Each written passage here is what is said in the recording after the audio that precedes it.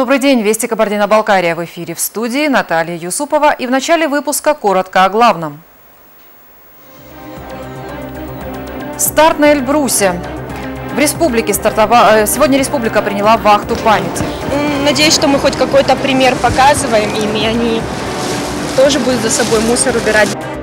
Выносили мешками. Молодая гвардия увидела в Нальчике чистые берега. Вот, как будто платуны. Во, во, во, отлично. Понял как? И про траекторию не забывай. Маленькие шаги к большим победам. Идти за мечтой Ахмеду Кишеву помогает не детская сила воли.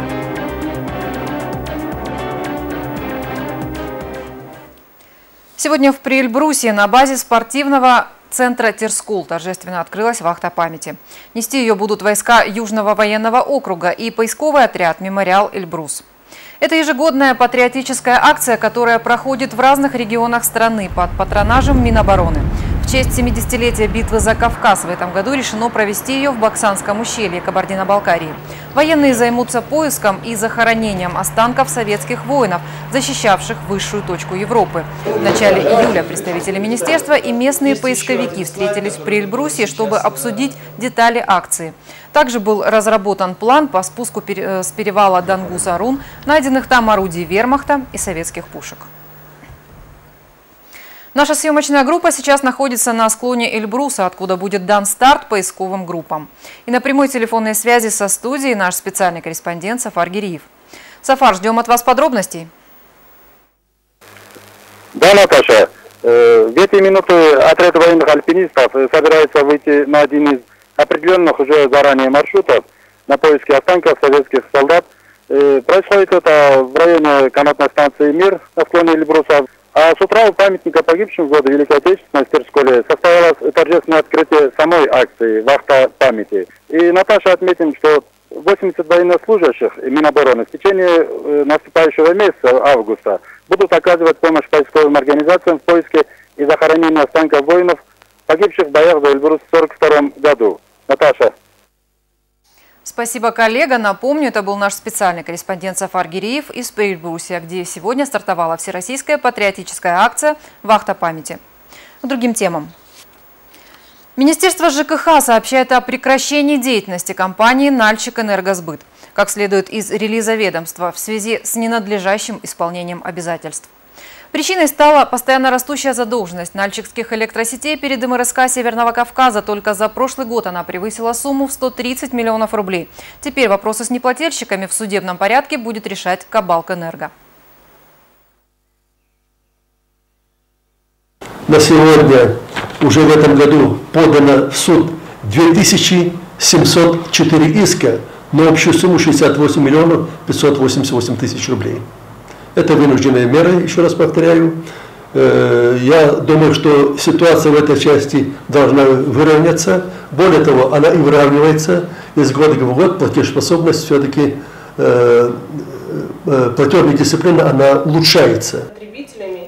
Сейчас Кабалкэнерго переоформляет договоры с потребителями. Это касается только юридических лиц. Населению достаточно будет просто оплатить потребленную энергию по бланку с новыми реквизитами.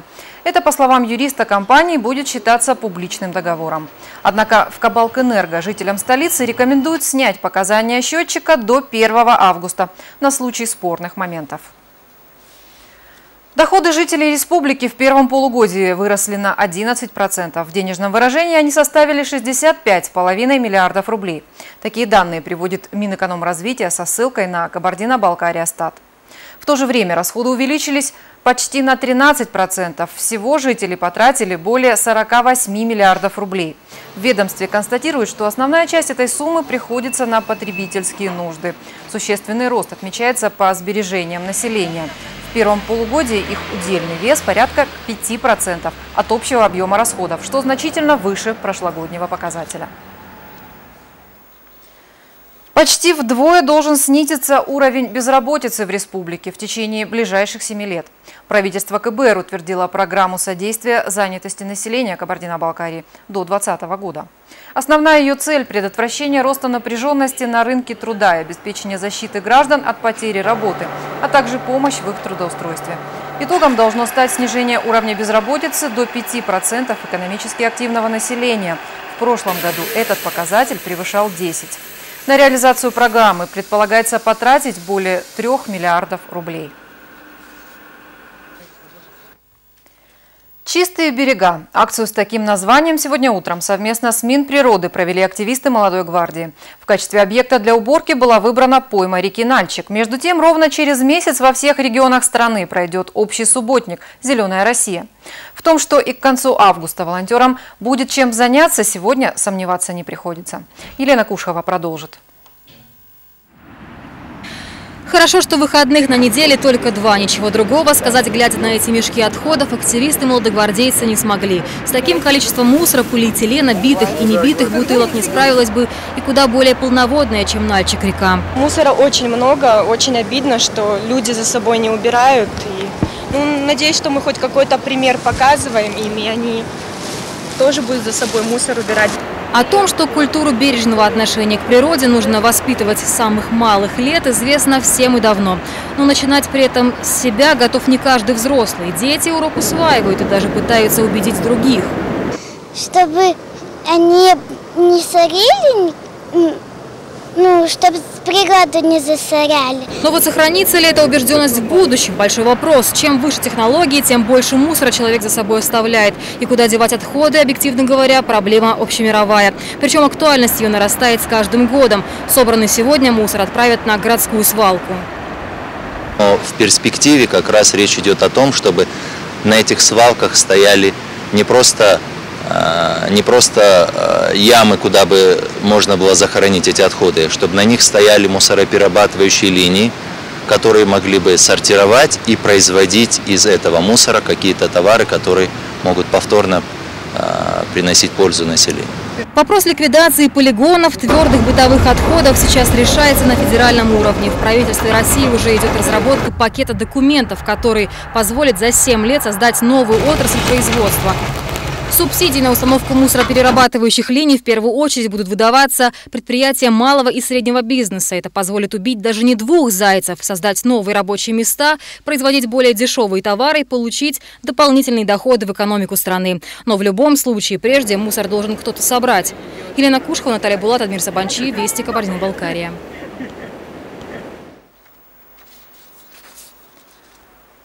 Ему всего 8, и он хочет стать чемпионом. Проблемы со здоровьем не мешают Ахмеду Кишеву упорно идти к спортивным победам. Специальные программы для детей с ограниченными возможностями в республике реализуются не так давно, но уже дают неплохие результаты. В Минспорта отмечают, власти республики сейчас продумывают систему поощрений спортсменов-паралимпийцев, занимающих первые места в соревнованиях различного уровня. Сюжет Инны Богатыревой. Мне подсказывают, что сейчас сюжет готовится к эфиру. А мы продолжаем выпуск. В Нальчике появились новые знаки для автомобилистов. Информационная табличка и дорожная разметка с изображением фотокамеры со вспышкой предупреждает водителей на данном участке. Госавтоинспекция ведет фото и видеофиксацию. Соответствующие изменения в правила дорожного движения были внесены 1 июля в Республиканском управлении ГИБДД. Говорят, что данное новшество призвано уменьшить количество правонарушений.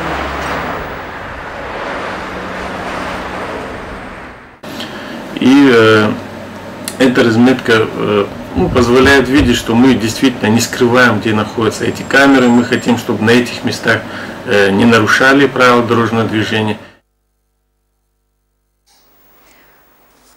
Ну и мы возвращаемся к сюжету Инны Богатыревой о спортсменах-паралимпийцев.